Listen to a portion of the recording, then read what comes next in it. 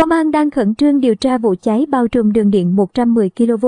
Vụ cháy xảy ra ở đường Nguyễn Xiển, huyện Thanh Trì, Hà Nội không gây thiệt hại về người còn nguyên nhân dẫn đến vụ cháy cũng như thiệt hại về tài sản. Cơ quan công an đang khẩn trương vào cuộc xác minh, điều tra, làm rõ.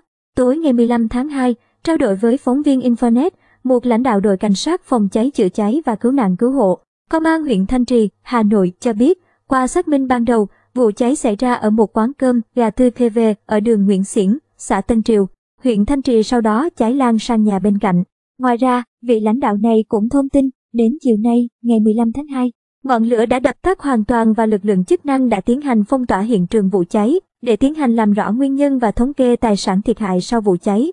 Bên cạnh đó, vị lãnh đạo này cũng chia sẻ, vụ cháy xảy ra không gây thiệt hại về người còn nguyên nhân dẫn đến vụ cháy cũng như thiệt hại về tài sản. Cơ quan công an đang khẩn trương vào cuộc xác minh điều tra, làm rõ. Theo vị lãnh đạo đội cảnh sát phòng cháy chữa cháy và cứu nạn cứu hộ công an huyện Thanh Trì, người dân thì họ khai báo thiệt hại lớn. Nhưng đó chỉ là khai báo của người dân. Lực lượng phòng cháy chữa cháy không chứng minh được điều đó, chỉ có nghiệp vụ dập lửa. Còn thiệt hại về tài sản phải cơ quan điều tra mới xác minh làm rõ con số chính xác về điều này. Như Infonet đã đưa tin, vụ cháy xảy ra vào khoảng 11 giờ ngày 15 tháng 2 tại đường Nguyễn Xiển, xã Tân Triều, huyện Thanh Trì, thành phố Hà Nội. Ngay khi phát hiện, người dân trong khu vực gọi điện báo cơ quan chức năng, lực lượng cảnh sát phòng cháy chữa cháy phòng cháy chữa cháy đã khẩn trương tới hiện trường tiến hành dập lửa.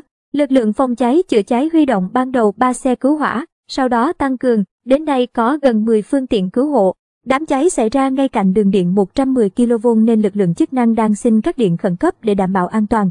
Nhiều cửa hàng ở xung quanh đang được người dân huy động nhân sự chuyển đồ đạc ra ngoài, công tác dập lửa vẫn đang tiến hành rất khẩn trương. Nguyên nhân vụ cháy và thiệt hại về tài sản đang được cơ quan chức năng tiến hành xác minh làm rõ. Các bạn nhớ đăng ký kênh và bật chuông thông báo để nhận được video mới sớm nhất nhé.